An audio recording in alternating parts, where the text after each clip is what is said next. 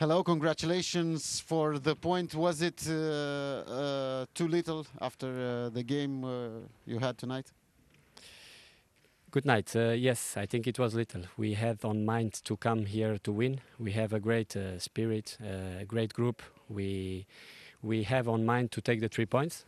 Uh, we took uh, one, and um, I feel something good. I felt something good that after the game we were ups- upset because we take one point in Medias in a difficult field, with uh, against a team that have good players, and this is our spirit. We want to win every game, and uh, we need to continue like that.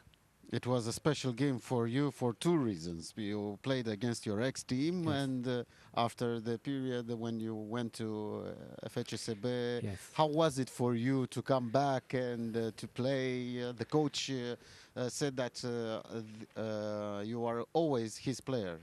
Yes, it was. Um, I felt uh, like in family here. So um, I searched for my happiness and for my family. And uh, the truth is, I feel every day very happy here. Uh, they took me very well in their dressing room after one week uh, in FCSB.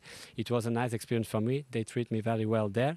But I decided to come back and uh, to help my team. I feel good here. I feel happy, and I feel I feel that uh, we can make something special here. But how about your teammates? Were they upset on you because you left and uh, came back?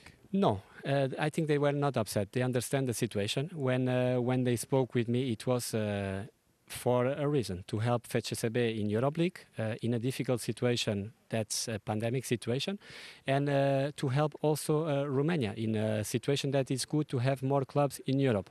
After that, uh, we spoke. We find an agreement, and uh, finally, I join uh, my family again, and I feel very happy for that. Thank you very much. Thank Good you luck. very much.